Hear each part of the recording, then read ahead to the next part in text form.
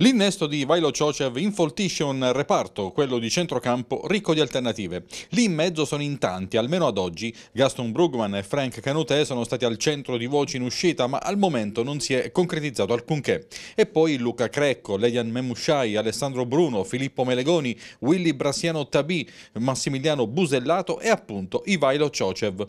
Va detto però che proprio il centrocampista bulgaro, in uscita dal Palermo, e Melegoni non saranno subito a disposizione perché alle prese con importanti infortuni. Ciocev a marzo, nel corso della gara tra Bulgaria e Montenegro, ha riportato una frattura scomposta della rotola destra e tornerà a disposizione in autunno. Stesso discorso per il centrocampista di proprietà dell'Atalanta che sempre a marzo con la Under 20 ha subito la rottura del crociato ad un ginocchio. Ecco perché, nonostante tutti questi nomi, Luca Palmiero non esce dai radar del Pescara. Eventuali cessioni sono sempre dietro l'angolo, mentre Ciocev è un innesto che sarà utile per la seconda parte della prossima stagione e magari per le successive successive. Resta poi attualissimo il discorso centravanti. Si attende la ratifica dell'accordo con Marco Tumminello, il centravanti cresciuto nelle giovanili della Roma ma ora di proprietà dell'Atalanta. Negli ultimi giorni si sono moltiplicati rumors intorno ad altri giovani di prospettiva, voci più o meno confermate dalla società.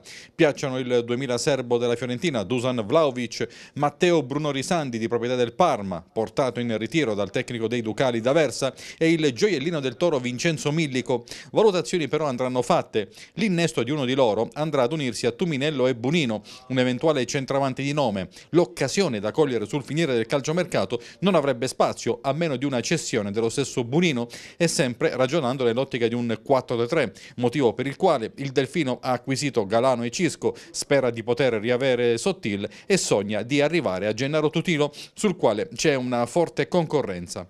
Intanto, come anticipato ieri, stanno arrivando alla spicciolata i giocatori del Pescara, vecchi e nuovi. In questi giorni effettueranno le visite mediche e da domani svolgeranno i primi test al Poggio degli Ulivi. La comitiva biancazzurra partirà domenica mattina alla volta di Palena, dove svolgerà la prima parte della preparazione, allenandosi al campo Gli Angeli di Palena e alloggiando all'hotel Terrazza d'Abruzzo.